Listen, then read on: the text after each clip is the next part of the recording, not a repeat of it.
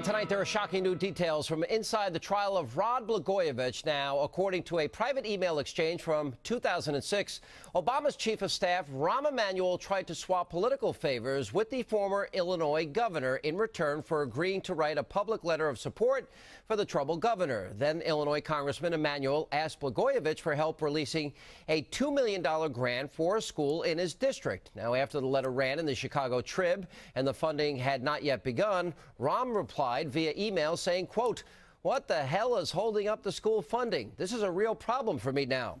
And Rahmbo's questionable, questionable behavior doesn't stop there. Today, former Blagojevich chief of staff John Harris took the stand and testified that just two days before the 2008 presidential election, Rahm called him regarding the open Senate seat and asked, quote, whether it would be helpful if Senator Obama called the governor to advocate for this individual. Now, Harris says that individual was none other than future presidential senior advisor Valerie Jarrett.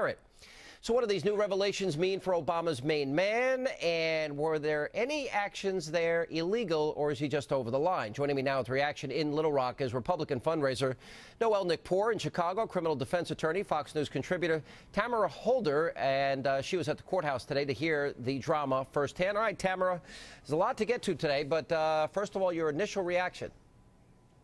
Well, you know, I think that we're talking about two different issues here. We're talking about a 2006 email exchange, and we're talking about the Senate seat.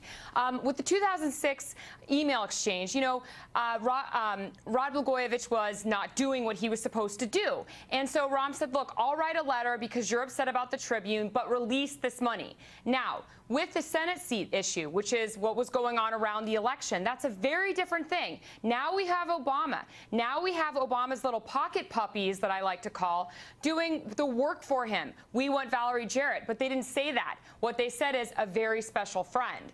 That's what they wanted uh, Blagojevich to do is put in his friend and not do anything in return for Blagojevich. All right, Noelle, let, us go through this one by one. All right, let, let's, I'll write a letter, release the $2 million. Yeah, yeah. Chicago way? Any, any, you're laughing, any legal issues? Well, I mean, look, the only thing missing from this story is a Tommy gun, a hat, and a slick suit. I mean, you know, we all know that Rahm Emanuel is nothing but a political gangster. And I think now he's become a political liability. What he did, uh, the question is going to be whether it was legal or not. But whether, you know, that's a moot point. Regardless of the fact, it looks bad. I look for him to step down as a result of this. And one of your first clues is the fact that Sarah Feinberg, one of his long term aides, has gone on to find another job. And one of the first things you do when you're going to step down is you start taking care of your people. So I think this is something to look at because he has begun, he's going to become right. a, a, a, liability to Obama 2012. Yeah, all right, Tamara, let's go through a few of the specifics. John Harris on the stand sure. today and and they're playing these tapes, and and Blago is talking about how if in exchange for appointing Valerie Jarrett to the Senate, well, that could get him a UN uh, ambassadorship. He could become Secretary of Health and Human Services. Also, Obama sent a union leader to, to meet with Blago to discuss the appointment of, of Valerie. Emanuel made the call saying Obama wanted a close friend appointed. Seems to me the White House is being, and the president himself is being brought right in the middle of this.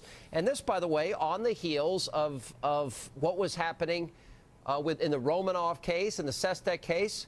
Seems to me the Chicago way was working pretty well before he even got into the White House.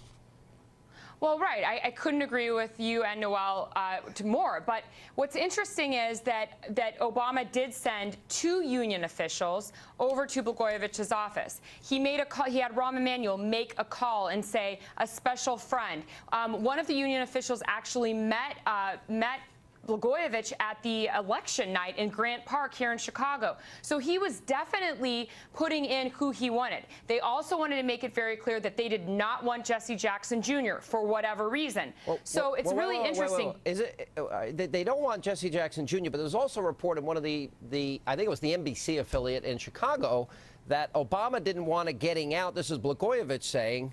Uh, because he didn't want to be seen as pushing somebody who was black. Is that true? Well, you, you know, I, I've heard that there are certain issues with that. I don't know if this is a race issue at all. You know, Emil Jones is also a black uh, person, and there were issues about not appointing him. So I, I don't know. But I do know that Obama is, is in, the, in this. I know that Rahm Emanuel is in this, and they need to come out and they need to testify. They need to clear the air. All right, Right. Noelle, Noelle, from a political standpoint, do you think the president's got any problems here as this unfolds? Oh, I think this is one of his worst nightmares. I, I, I think that this is, I think all their hands are black on this. I think it's really bad. All right, we're gonna. We're I think gonna this is it. why. Go ahead, Tamara. This is why the judge needs to make him testify. The judge is the one who's in control of this, and he needs to bring Obama forward. Wow, that, that would be explosive. Yeah. Uh, I don't know if I hold my breath. Certainly, Rahmbo is going to be uh, testifying. I think before it's all said and done. Uh, no wonder why he's talking about retiring. Guys, thanks for being with us.